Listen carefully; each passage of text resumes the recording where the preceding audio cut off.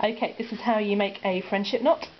You start with this section here and go underneath the other section making it go across.